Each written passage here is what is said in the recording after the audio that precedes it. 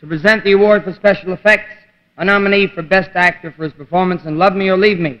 Ladies and gentlemen, Mr. James Cagney.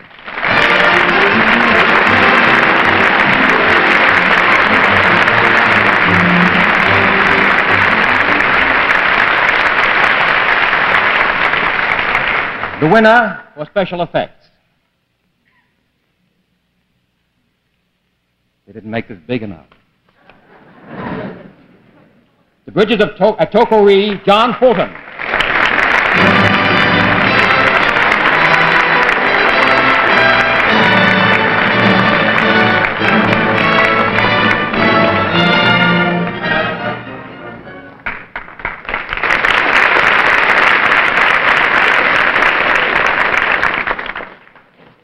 Can I ask you a question? Fire away. Why were you so mean to Doris Day?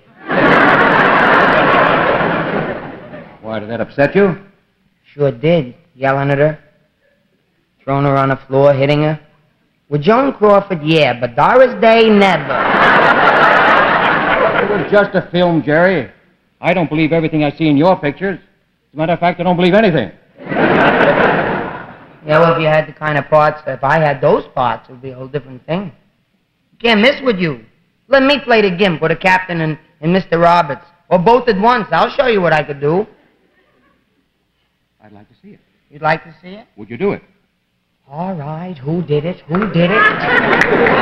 All right, who threw it? Who threw it over the ship? Who threw it? You're going to stay in those battle stations until someone confesses. All right, Ruthie, don't just stand there. Sing Melancholy Baby.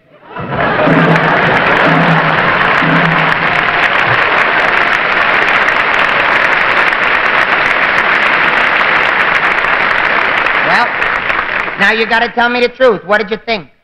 I like it. I like it.